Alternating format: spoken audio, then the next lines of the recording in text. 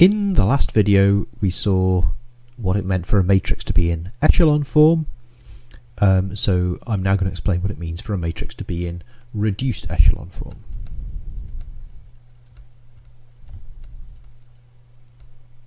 And then I'll explain why this is exactly what we need for solving systems of simultaneous equations. So um, a matrix is in reduced echelon form if three things hold. First, it's in echelon form.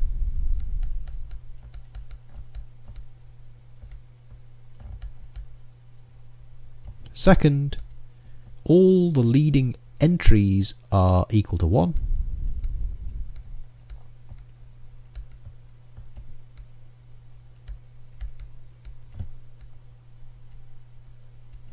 And third, there's a slightly more involved condition. I'm going to call it condition star, um, which is um, in a column containing a leading entry.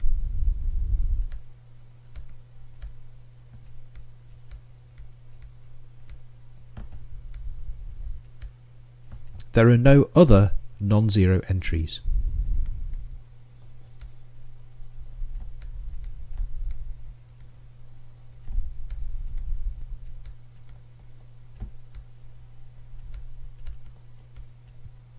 Okay, so in other words, the columns containing leading entries from these two conditions here are going to look like this. They're going to have some zeros, one, one, and some more zeros. And that's all that's allowed.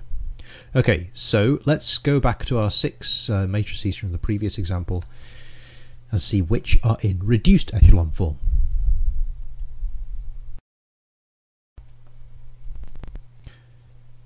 What about this first one? Well, it's in echelon form, so that's good. Its leading entries are 1, 1, 1, they're all 1, that's good. But condition star fails, because for example in this second column, um, the leading entry is 1, there's a 0 but there's also a 2, so that's no good. So condition star fails. The second guy, it's in echelon form, the leading entry is 1. And in that column, there are no other non-zero entries. There are no other entries, full stop. So that is in reduced echelon form. This third guy, again, it's in echelon form. The leading entries are 1s, so that's good. And in those columns, there's only zeros other than the leading entry. So this is in reduced echelon form. This one is not in echelon in reduced echelon form because it's not even in echelon form, and the same goes for the the final example over here. And what about this one in the middle? Three zero one zero two zero zero zero. It's in echelon form, but its leading entries are not one. It's three and two. So only these uh, two on the top row here are in reduced echelon form. Okay, I want to explain to you the uh, reason for this definition. Like it looks a bit random. Um, so let's take uh, this matrix here. So this is 1, 0, 1, 1, 0, 1, 2, minus 1. Um, and let's stick a augmentation like a, an extra row, extra column. Um,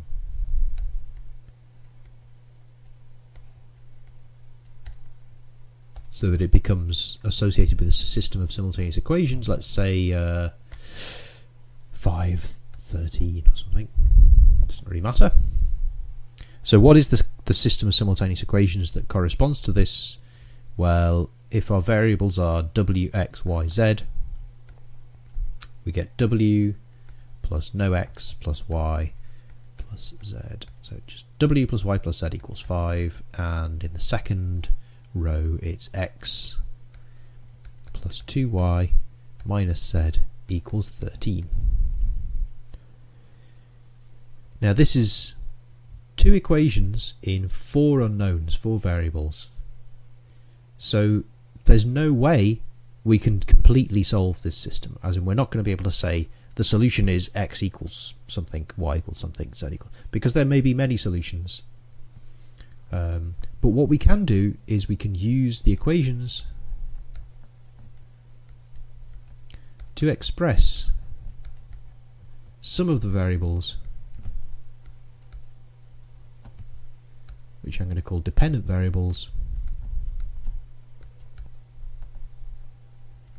in terms of the other variables.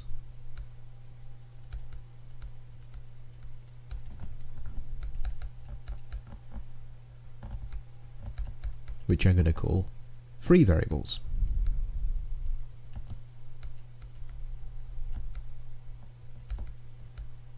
Because these other variables, they can be whatever they want, and that will determine the values of the dependent variables.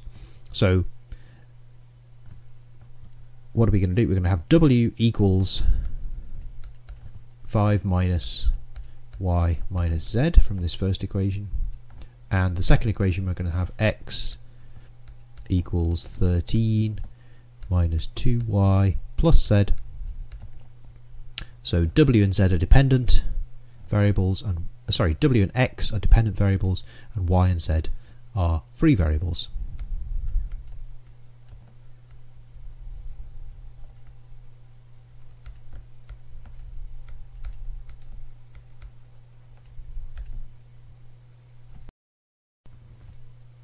Now, why did I pick W and X to be the dependent ones? Couldn't I have used something else? Well, no, I couldn't because Y is in both of these equations. So if you use the first one to express Y in terms of W and Z,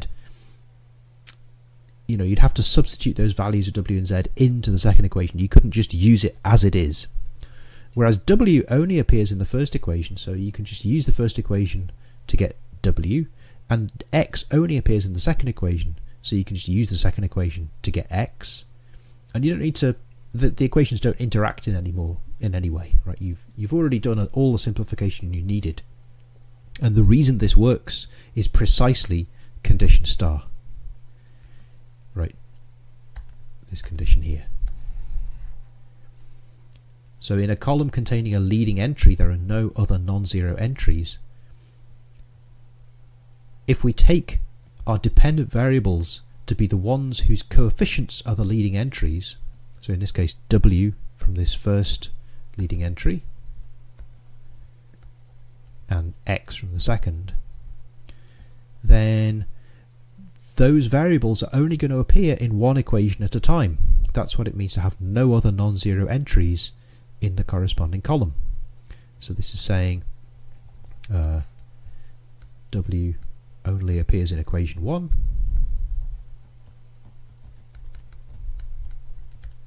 and x only appears in equation 2.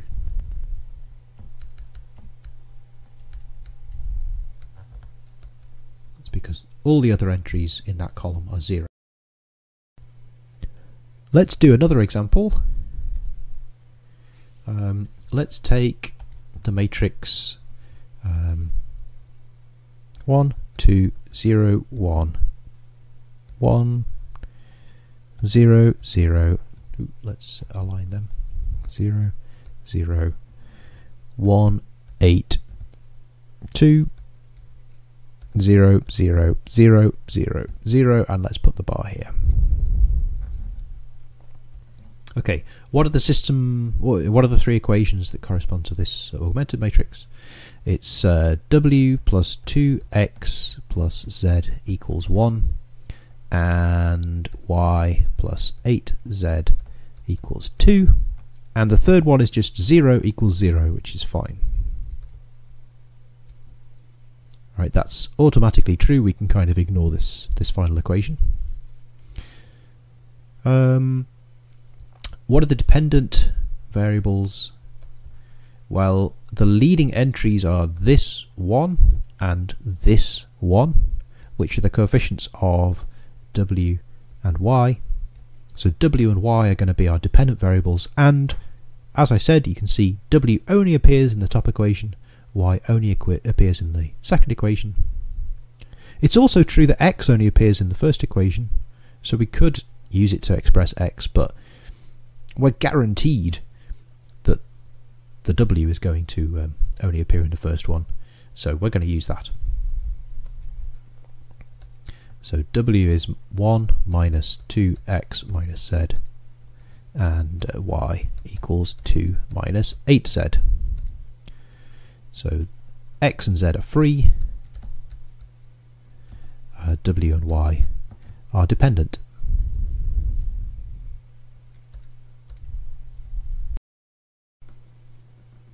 Let's just do a related example. I'm going to take the same matrix and I'm going to change the um, vector on the uh, the right of the bar.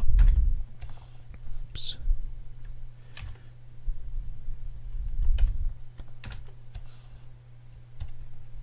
Okay, so I'm going to replace this uh, third entry 0 with uh, 3. Right, I can do that. That corresponds to some system of equations. What is the system of equations? Well, the first two equations are exactly the same. They're exactly the ones we had before because the top two rows didn't change. The third equation becomes 0 equals 3, which isn't true, right?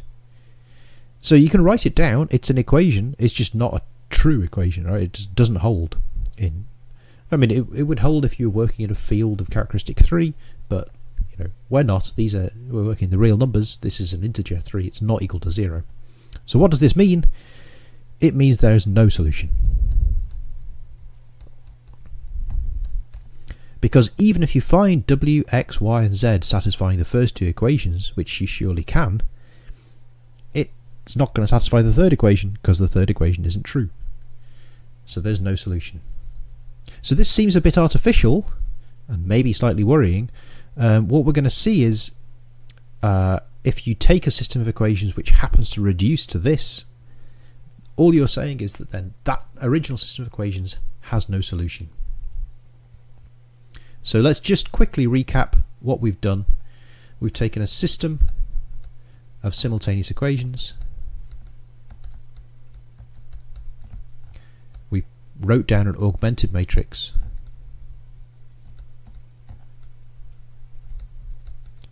We performed row operations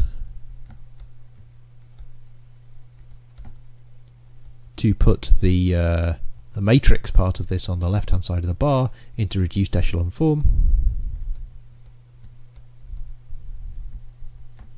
And from that we can read off if there are any solutions so do solutions exist?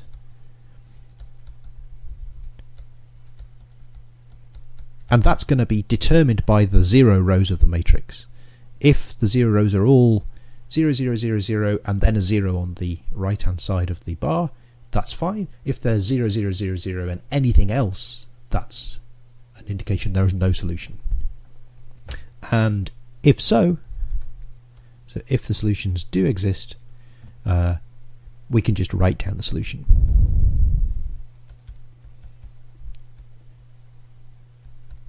In the way that we did in the other two examples with free variables and dependent variables.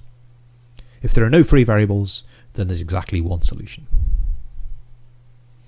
Okay, so we're going to see in the next video some examples of this uh, from the beginning. Right, we're going to start with a system of equations, do some row operations and solve the equations.